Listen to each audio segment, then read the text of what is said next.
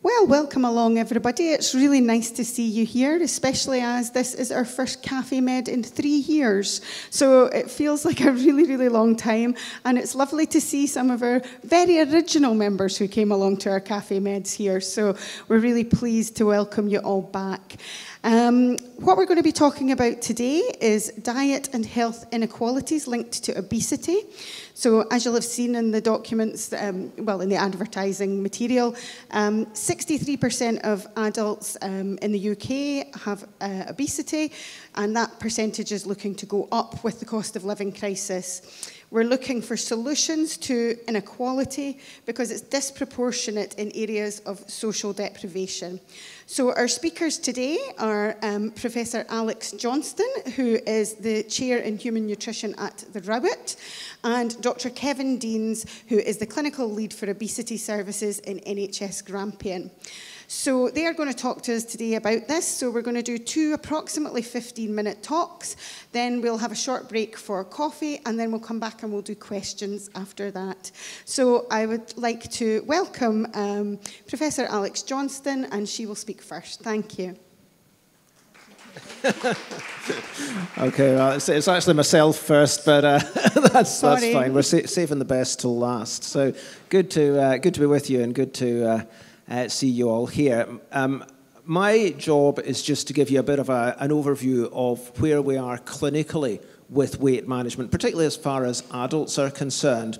Um, towards the end, we'll home in on the current situation in terms of inequalities, particularly in terms of social deprivation. And it's going to be very much a sort of warts and all talk. I'll tell you about the good stuff that's going on. I'll also tell you about the gaps that there are in services because nowhere in Scotland do we have all the things that we really would like to have in place as far as weight management is concerned. And I think it's only reasonable to be honest about where the gaps actually are and what we need to do if we're going to provide a service that provides you know, really what is needed for weight management for the people of Scotland. You often look at the headlines and um, newspapers will run periodically with stories about the prevalence of obesity and uh, no prizes for guessing that the prevalence of obesity is increasing. Sometimes if you look at the graphs, you see that it increased quite a bit, and then it's sort of leveled out a bit, and you might say, oh, we're winning the, you know, we're, we're, we're, we're kind of winning this, and we're, we're, we're getting to where we need to be. But actually, um, that can sort of uh, cover over some of the detail, because if you drill down and look at the prevalence of, uh, of, of severe obesity and look at the, uh, the, the proportion of people with a body mass index of, say, greater than 40, uh, for example, you find that the prevalence of, of uh, BMI greater than 40 has gone up disproportionately compared to the prevalence of, of obesity. In other words, those who have a BMI above 30. So those who already have obesity the problem is getting worse and the tendency is for BMI to increase. So, it, you know, it is, a, it is a big issue. Why is it, why is it a, a problem? Why are we worried about this at a public health level? We're worried about it, of course, because obesity um, is a risk factor for a whole range of health problems. So people living with obesity are at higher risk of everything from uh, diabetes to heart disease to cancer. There was quite a bit of work a few years ago where there was some advertising campaigns to draw attention to the fact that obesity is quite a risk factor for many forms of cancer. And so there are lots of health problems, fertility problems, joint problems, osteoarthritis, a whole range of problems that uh, a high BMI is a risk factor for. So this is something that we need to be able to deal with, and we need to be able to deal with um, to be able to prevent uh, further health problems and to help people already living with obesity to uh, have the, the best health that they can. Now, the way that health services, weight management services, are set up for people who are living with obesity, uh, generally within Scotland, uh, we have a sort of four tier model tiers one to four. And the idea is that people start at the bottom at tier one and work their way up as required and depending on what services are available. And I'll just outline to you what's in tiers one to four and what can be achieved at each of those tiers. We'll get to the inequalities bit in a moment, but I, I, I do feel it's important to sort of lay some groundwork just so that um, you, you, see what we have and also what we don't have uh, within Scotland. So tier one is the sort of population-wide um, health improvement work. So the sort of work, things like walking groups, active living groups, um, cooking classes, the sort of population level, community type work. That's really where prevention of obesity and treatment of obesity sort of merge from one into the other. But often for people who are living with obesity already, obviously while these things can be useful, they need something more and need something more intensive and something more specialized. And then we go on to tier two sort of services, level two services, which is generally the sort of services that are provided by community dietetics, for example. So community dietetics would, uh, in, in, in Grampian, for example, they run a, a group-based program currently delivered online, although they're moving back to, uh, you know, hopefully in due course, some face-to-face stuff as well. A program called Healthy Helpings, which is a group-based program about getting the basics in place, getting the building blocks of a healthy lifestyle in place. And, and they can be effective. You know, for, for, for many people, they find that sort of thing useful. Some people prefer commercial weight management programs, and so there's a place for groups like uh, you know, some of the commercial programs, you know, Weight Watchers, Scottish Slimmers, those sort of programs have a role there. One of the programs at uh, Tier 2 that uh, we've particularly found it useful to link up with is a, a program called Football Fans in Training. And Football Fans in Training is a programme that's uh, run across all the Scottish Professional Football League SPFL trust clubs across Scotland. It was originally brought in place because it was recognised that a lot of weight management interventions are geared towards the needs of women, particularly, mainly because proportionally, I'll show you, I'll, I'll tell you some figures that back this up in a little while, but most people who are seeking help with weight loss uh, tend to be women. And so men who were looking for weight, for weight, management help might turn up at a group program and they might find that they're the only man in the room, and that may or may not be an issue for them. That might be absolutely fine. But a lot of men were saying, well, we don't feel that we're catered for in this sort of uh, thing. And so Football Fans in Training was born uh, out of a uh, desire to have a program that was particularly geared towards sort of uh, there was a lot of there was a lot of male banter and it was uh, it, it, there's a program down at Pittodrie and uh, it's really very effective program, part classroom sort of education about healthy lifestyle, part physical activity, and of course if you're into football, then being down there at the you know at your local football ground is particularly appealing. And it's a very impressive program because not only was uh, is the weight loss within program pretty impressive. There's a paper published in the Lancet that showed the details of this, and it was a bit over six kilogram weight loss in program. When they went back and followed people up nine months after they had finished, they had actually on the whole, maintained that weight loss or lost more weight.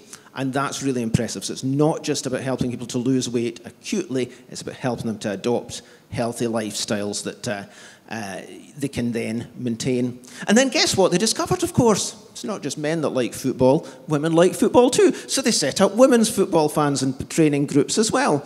And uh, they are every bit as uh, popular and effective as well. So they're not for everyone. Not everyone's into football. Not everyone wants to be at the local football ground. But for a lot of people, they are, they, they, they are very attractive and they are very effective groups. I'll tell you a bit about Tier 3 next. Tier 3 is more where you get to specialist weight management interventions. And it's recognised that weight management is complex and the issues underlying obesity are complex. And if you're going to tackle them successfully and help someone living with obesity, then you might need input from a number of different professionals. You might need dietitians, you might need psychologists, you might need physical activity specialists. And here in Grampian a little while ago, we had a, uh, we, we had a program called Way Forward. And Way Forward was set up on a pilot basis for about a year and a half. And it had all those specialists involved. And again, it was very much about helping people to understand the issues underlying their uh, weight problems, and again, empowering them to make decisions, to make long term changes. It wasn't about giving them a prescriptive diet and say, go and follow this, and uh, and it wasn't about, uh, you know, get, one, one, one patient who'd come through the program said, the good thing about this program was you didn't give us reprimands, you gave us the tools to make long term changes. And again, it was very impressive, not just in terms of weight loss in program, but also the fact that, again, when they went back and, uh, and, and caught up with people six months later, they had, most of them had lost more weight. And then they also looked at a whole load of parameters of psychological well-being, mental health, and they actually found significant improvements in those parameters as well. Because often when you ask people, well, what matters to you? They won't say, oh, I want to lose X amount of weight. They'll talk about the things that, they, that, that, matter to them, and it might be the impact on their mental health, or it might be the ability to go out and do whatever they, they want to do, or to run about after their children, or to uh, you know, Im- improve their health. And so we always think it's important to look beyond just weight loss. And you know, weight loss can be an easy thing to measure, but often what matters to people is beyond that. So that's tier three. Um, other things on the horizon medication for weight loss. We have Orlistat, which is a drug that's been around for years, inhibits absorption of fat. Some people find it useful.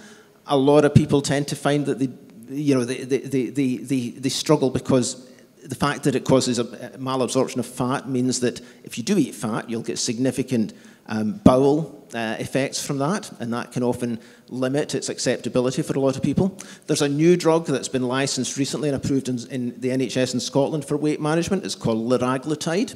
It's yet to be, health boards are looking at it at the moment and working out pathways to uh, bring it into place. So we don't yet have that pathway locally within Grampian, but it is being actively looked at. So there are drugs there that are promising, but it's interesting because actually, you know, medication for, for weight management. When I was a medical student, we had three drugs for weight that were licensed for weight management. Until recently, we had one because the other two had been withdrawn. Now we're up to two. So there's still not much really in the way of weight management, but watch, uh, of, of drugs for weight management. But watch this space. And, and finally, we get to tier four, and that's bariatric surgery, weight loss surgery. And you know, we do, we do uh, quite a, we, well, in ordinary times, we do quite a bit of weight loss surgery in NHS Grampian. 40 procedures a year, anyway, is what we would generally aim for. Mixture of gastric bypasses, sleeve gastrectomies, procedures that not only reduce what you can eat, but actually the main the way they work is the signals that go back to your brain, the appetite mediators that tell your brain when you're full. You feel full much sooner, basically. And bariatric surgery very effective if people are prepared well for surgery, and we'd put in a lot of work to preparation before surgery. But generally, you're looking at about 25 to 30% weight loss. That tends to come off over the first year to year and a half after surgery, and then there's a little bit of rebound, but in the majority of people, when you go back, and there's outcome studies that have now got greater than 20 years follow up, in the majority of people, the weight stays off. It's not a magic. To, it's not a magic cure. It's not a quick fix. It's a it's a tool to help people make significant changes to their whole relationship with food. Very effective when you look at impact on reduced mortality, reduced incidence of diabetes, reduced cancer incidence, reduced cardiovascular uh, risk as well. So very effective. Um, really, the difficulty is that at the moment within the NHS in Scotland, we really need to do far more of, I think, really across the tiers, um, weight management. We need more resource at tier two at community level. We need a tier three service. We're trying to get, you know, we're, we're, we're actively trying to get something uh, put together that would provide a tier three service on a long term basis in Grampian, but obviously resources needed. We need to do more bariatric surgery because there was a, a, an estimate done recently that, that implied that in Scotland as a whole, the proportion of people who can access bariatric surgery as a percentage of those who could potentially benefit from it is very, very small indeed. The vast majority of people who could potentially benefit from, from bariatric surgery can't access it. I did a bit of drilling down just to look at our numbers and to see, well, what do we actually achieve? You know, we, we aim for about 40 procedures a year, basically bariatric surgical procedures um, per year. During the pandemic, our activity has been severely curtailed because of pressures in the healthcare system. So we've been looking at the past few years. We haven't really hit near those 40 a year while we're still doing everything we can. Um, I, I, thought, well, it'd be interesting, and when, given that this session is really going to be homing in, and Alex is going to be looking at inequalities in a minute, to look and see, well, what are we actually doing? So I, I looked at this sort of male versus female breakdown. And uh, since our records began in 2003 up to present, 27% of our patients were male, those who underwent bariatric surgery, 73% female. Um, I looked at age. Um, median age, really, for each year that we've done this has been somewhere in the 40s, so 40, 42, that sort of age range basically each year, um, with a bit of spread. I think the youngest person we've ever carried out bariatric surgery on was in their late teens, and uh, obviously there have been some people who have been significantly older than that, median of 42. I thought it'd be quite interesting to drill down on social deprivation as well, and so I looked at just for the past year um, the SIMD, the Scottish Index for Multiple Deprivation, which is the area level indicator of deprivation, and uh, looked to see, well, what's the spread?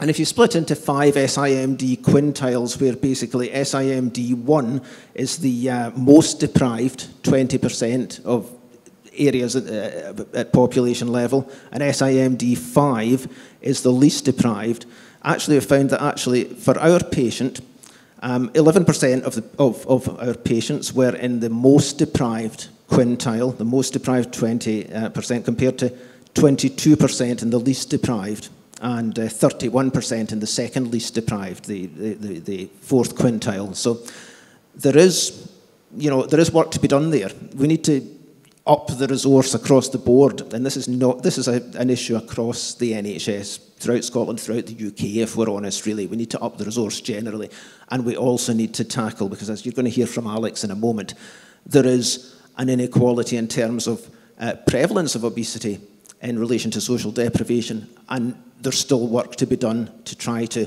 make sure that the resources and the interventions can get to those most in need.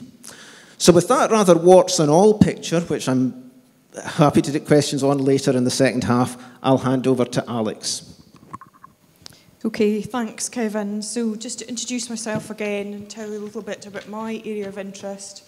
I'm a professor at the Rowett Institute, which is the building behind this, And of course, the Rowett is 100 years old um, this past month, and the Rowett is interested in the relationship between diet and health. So I'm really interested in appetite control, and I am a research scientist, a nutritionist, and Kevin and I um, combine our efforts uh, by being proactive members of the Association for the Study of Obesity, Scottish network. So um, that really embraces um, bringing together clinicians, patients, researchers, students, healthcare professionals, really to share knowledge, share experiences and shape the future of obesity research and treatment. So those sessions are actually open to all um, and they're online, so you're more than welcome. I can tell you a little bit more about that if that's something of interest. But I'm really interested in um, championing tonight the issue of obesity and deprivation. So we heard um, from Kevin about the stats in Grampian. So I think that we, I want to highlight, first of all, this link between obesity and deprivation, and that, for example, obesity rates, and this is across the UK, are 36% in the areas that are most deprived and much lower at 26% in areas of least deprived. So from that, we can see that obesity is patterned by inequality. And we can also see that um, it's interesting that there's more women seek treatment for uh, obesity because uh, those that are living in deprivation, women particularly have a 50% increased risk of developing obesity if they live in a postcode area of deprivation. So I think we're really failing um, these people with our current food system. Um, we need to think about the cost of obesity in these areas. And the cost, I mean generally the impact on the NHS. But not only that, of course, it's the health impact. So I've mentioned um, food insecurity, so it would be useful to define that. What do, what do I mean by that? And I'm just simply taking the Oxford Dictionary definition, which is the condition on not having access to sufficient food or food of an adequate quality to meet one's basic needs. So we know that with the cost of living crisis, food costs have increased. Uh, costs for energy use or electricity and gas bills has increased. And that means that when I'm, people, I'm meeting people who are living with obesity and food insecurity, then they tell me, Alex, it's not a choice of heat or eat. I can't afford to do both. So it's really quite, it, it hits home when you have somebody sitting telling you that they eat cold food, purchase cold food, because they can't afford to heat it. So um, we have um, policies in place in Scotland. So the Rowett receives funding from Scottish Government, as do I, to look at some of these issues. Uh, the UK government, because remember health is devolved, that's why I'm mentioning different Scotland versus England, and I try and work across the devolved um, parliaments, but we have a document called the National Health Strategy. And Henry Dimbleby is quite a vocal person. If you're on social media, I can direct you to some of his tweets. And he says that we must have healthy, safe and environmentally friendly diets for all. So it should not matter where you live, you should have access to this. And I want to pick out another aspect there in terms of um, environmentally friendly because we should be thinking about the food we eat not only for our personal health but for the planet's health too. We know that dietary patterns that promote all dimension of individuals' health and well-being should also have low environmental pressure and impact, should be accessible, affordable, safe, equitable and are culturally acceptable. And that's a quote from the uh, WHO and the FH, FAO, Food and Agricultural Organization, the World Health Organization. So it's really interesting there to think that our food system has a negative impact on our planet in terms of biodiversity loss, deforestation, and water use. So I'm sure if we went to the cafe and we could see where did all these food items come from, most of them will have been imported. And that creates air miles. Food production systems creates greenhouse gas emissions, and greenhouse gas emissions impacts on uh, the ozone layer, which is linked to climate change. So if we think about when I go and speak to kids about this topic, I tell them that um, cows fart. And it's the cows farting producing methane that can be is one of the greenhouse gases, and they think this is really funny. But of course, we are, have a heavy emphasis on meat being one of the cornerstones of our eating episodes, and also cows produce milk. So it's not just about reducing meat; it's what are we going to eat instead of that, and that's going to be primarily be plant-based alternatives. So I think that's really interesting in terms of how our eating habits impact not just on our environment, but also our food security. That's something that the government are passionate about in terms of looking at import versus export. Um, and that is, I have some projects running on vertical farming to think about what can be grown, lo grown locally in a local community that can support, not replace farming, but it means that you can grow foods under temperate conditions to have to create a food supply all year round. And I think that's a really interesting concept. Um, of course, not all diets that are sustainable are healthy. Not all healthy diets are sustainable. And that's a quandary there as a nutrition scientist. So what kind of messages do we want to get across to people? Because I could remind you about the Eat Well guide that we have in the UK that tells us what we should be eating for a healthy diet. You've got to translate that into your shopping basket when you go into the retail space. And that's actually very difficult. You could look at the front of pack and look at the traffic lights, the red, amber and green, and choose things that are green. So you think, yes, Alex, I've chosen all really healthy things. And then I could say to you, well, where did those things come from? What's the environmental impact? So that's going to be the future. I can see a labelling system that's going to have to integrate healthiness and environmentally friendly. This is something that we call the sustainability footprint. So there are already some logos that exist on packaging that you can look to see where food has come from.